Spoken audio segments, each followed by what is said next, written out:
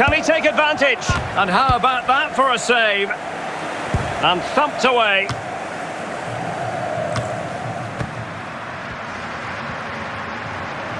Well, that ball, can he put it in? And a goal!